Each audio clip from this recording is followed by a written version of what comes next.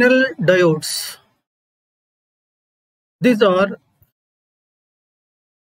semiconductor devices,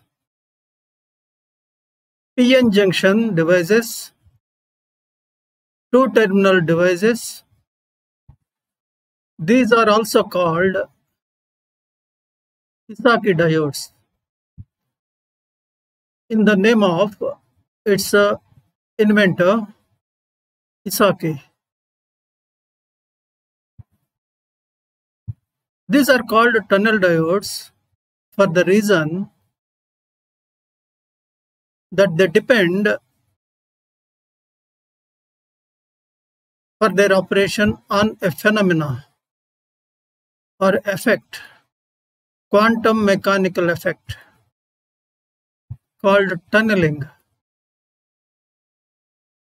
In tunneling, what happens is a particle can move, can pierce through the barrier and finds itself on the other side even when it doesn't have necessary sufficient energy to move to the other side, to jump to the other side from this side. For this reason, tunnel diodes are called tunnel diodes. Important feature, most significant feature of tunnel diodes is that they exhibit negative resistance, dynamic negative resistance.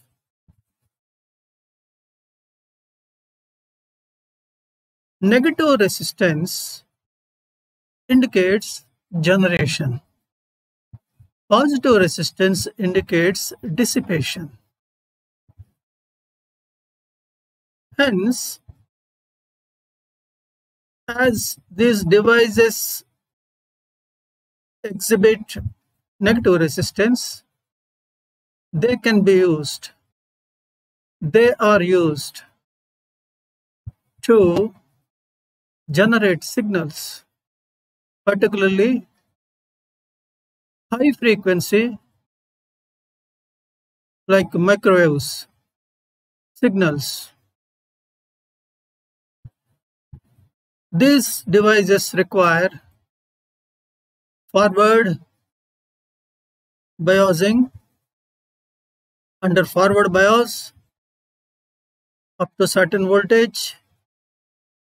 Their behavior is very much similar to the behavior of ordinary diode diodes.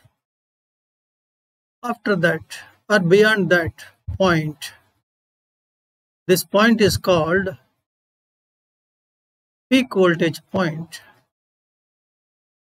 Beyond this point, the diode starts exhibiting negative resistance, dynamic negative resistance, until the voltage reaches another point. This point is called valley voltage point. So the diode is capable of dynamic negative resistance and hence signal generation or signal amplification when the applied voltage is forward biased voltage is between peak voltage and valley voltage. Beyond valley voltage, of course, again, the diode starts exhibiting positive dynamic resistance. Structurally, tunnel diodes they require heavy impurity concentrations and as a consequence they are associated with very small junction width. In fact, tunneling is possible only when barrier width or junction width is small. It becomes tunneling phenomena, it becomes more and more possible only when junction widths are lesser and lesser. For this reason, one cannot find tunneling in ordinary diodes. Special diodes, tunnel diodes, series on semiconductor devices and circuits, lecture number 2.27. Tunnel diodes are semiconductor PN junction diodes. They are well known and widely used for their property of negative resistance, dynamic negative resistance. Positive resistance indicates dissipation or conversion of electricity into heat whereas negative resistance indicates generation generation of a signal hence these diodes because of their uh, negative resistance they are used in uh, amplifiers and oscillators at uh, microwave frequencies. With this small introduction about tunnel diodes, now we move to the core session where we focus on the structural features, materials used, properties, VI characteristics, etc. pertaining to tunnel diodes. We start uh, the session with uh, a few points regarding uh, the background, historical background of these diodes.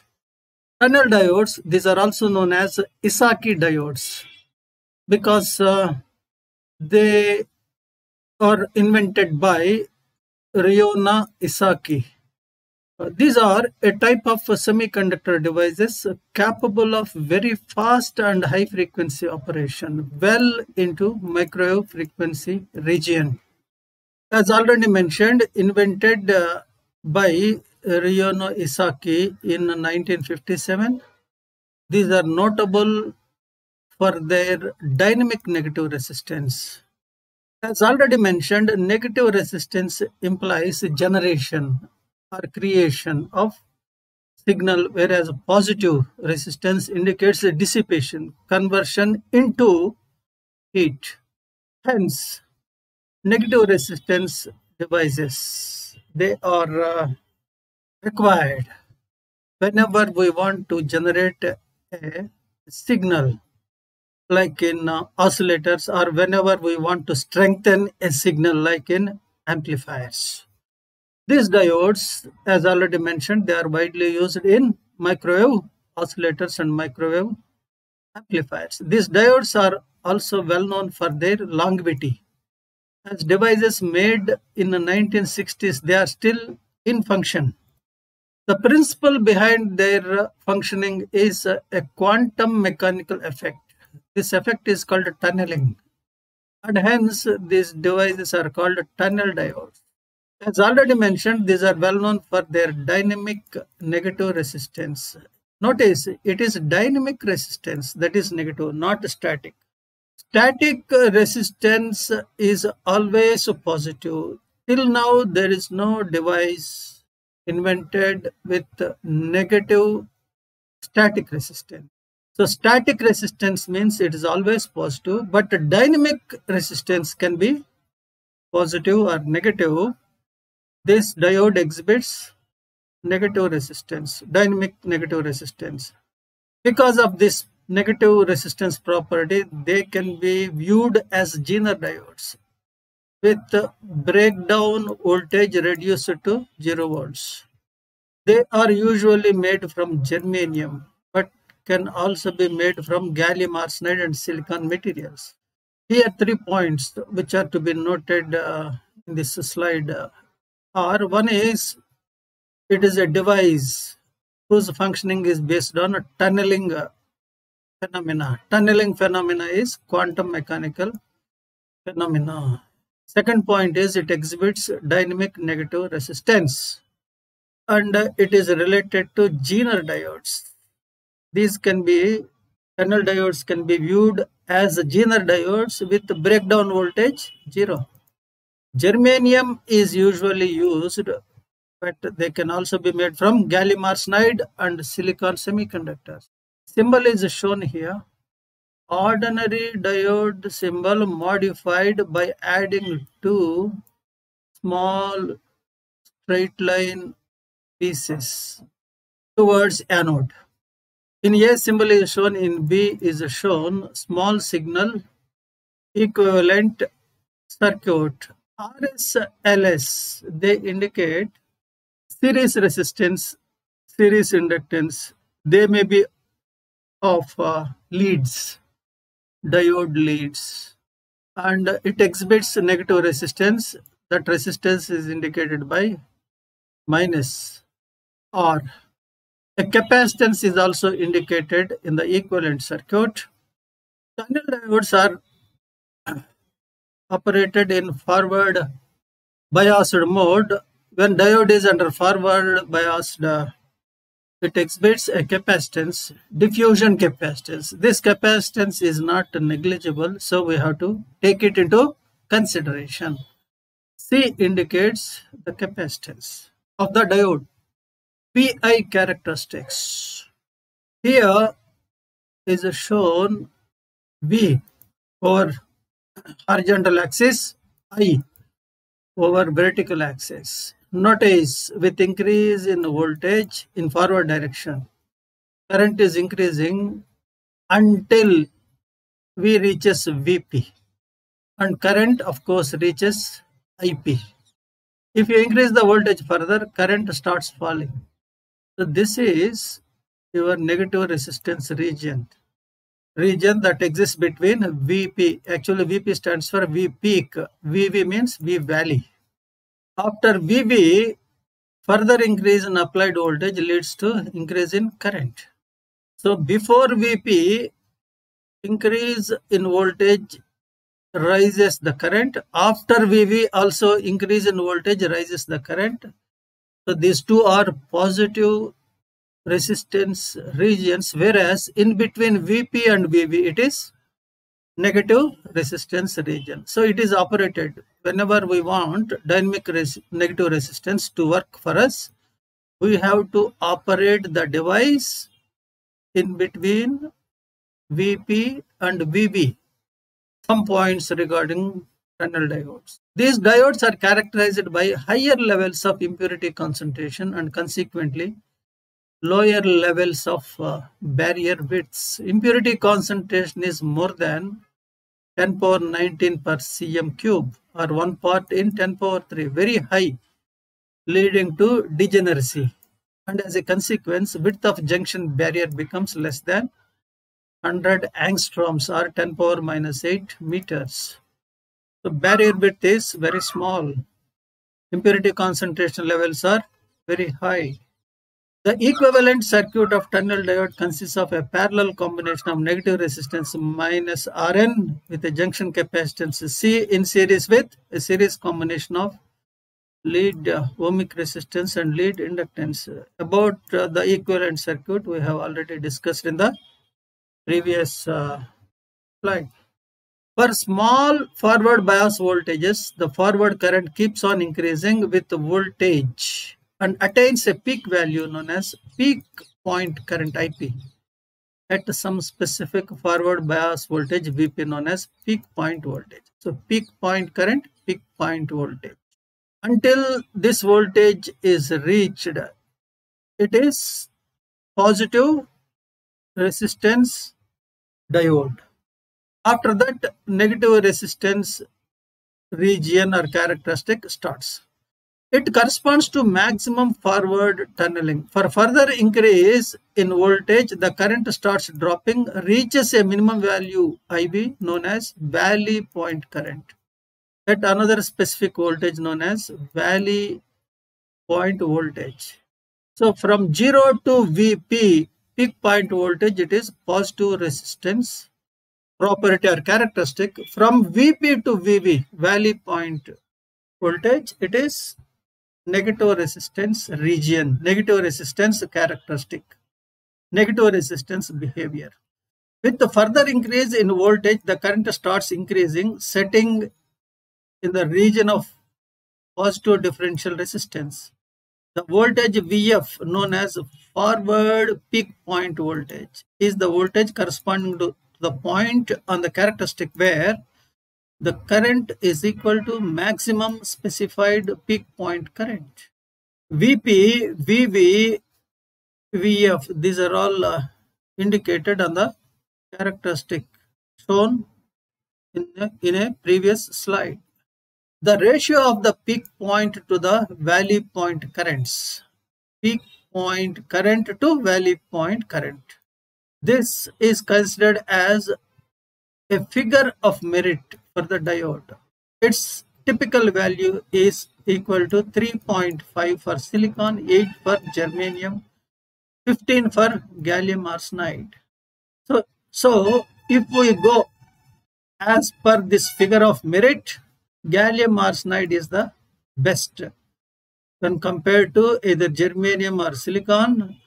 And uh, germanium is uh, a better one when compared to silicon. For this reason, most commercially available tunnel diodes are made either from germanium or gallium arsenide. Using silicon, it is also difficult to manufacture tunnel diodes capable of giving a high ratio of peak to valley current.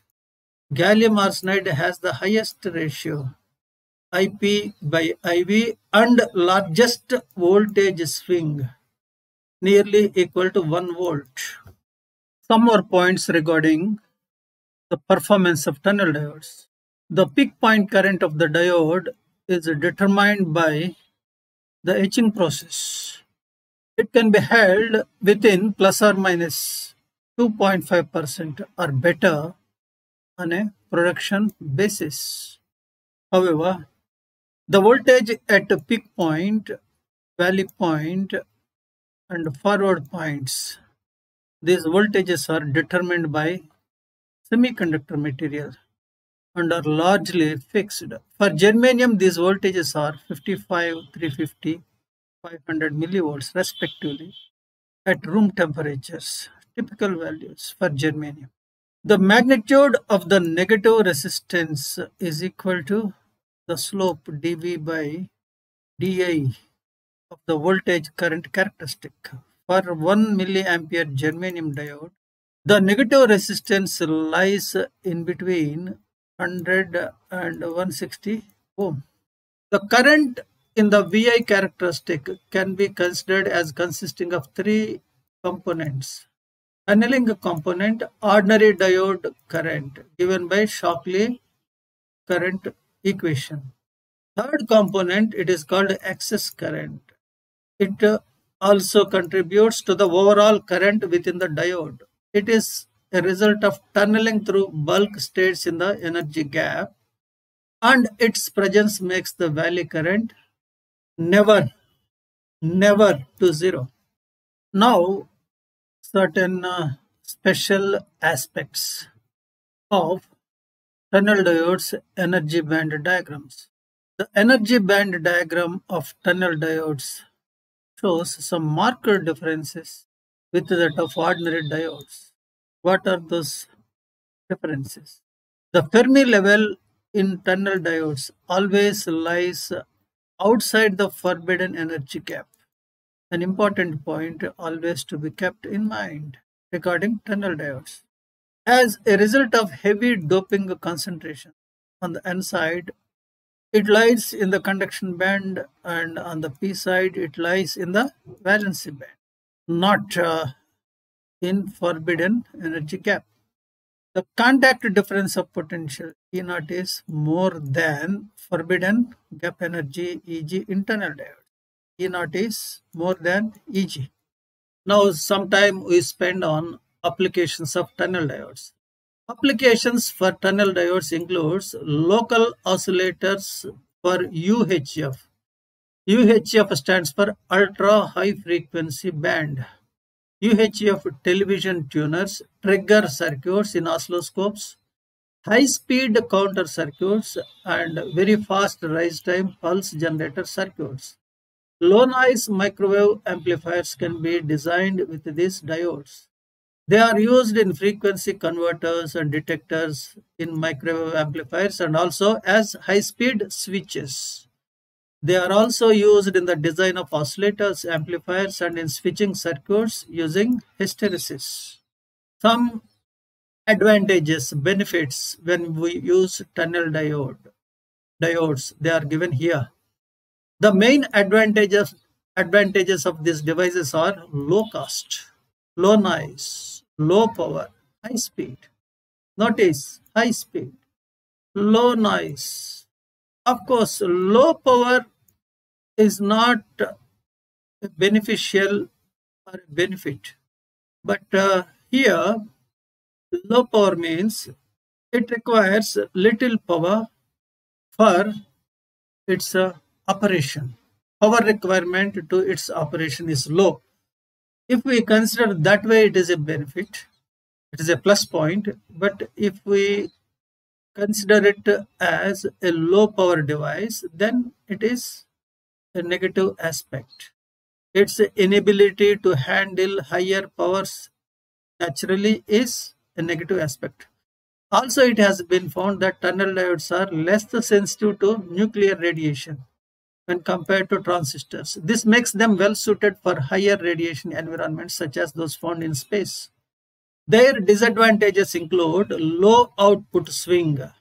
And another disadvantage is they are two-terminal devices.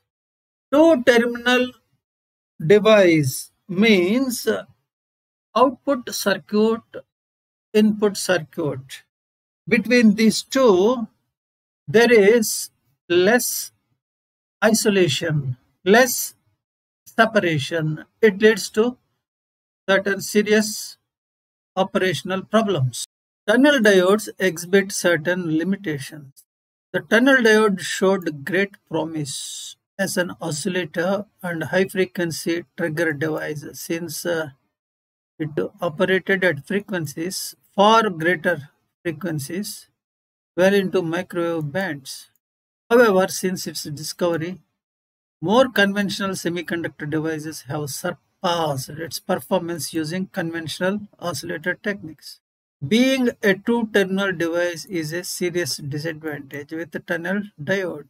For many purposes, a three-terminal device such as a field effect transistor is more flexible than a device with only two terminals. Three-terminal devices provide are capable of providing better isolation between output and input than two-terminal devices. So they are three-terminal devices are less prone to spurious oscillations than single, sorry, two-terminal devices. Tunnel diode being a two-terminal device, it has that uh, serious disadvantage, being prone to spurious oscillations. Practical diodes operate at a few milliamperes and a few tenths of a volt, making them low power devices. The Gunn diode has a similar high frequency capability and can handle more power. This is also a limitation. These diodes are susceptible to damage by overheating and thus special care is needed when soldering them.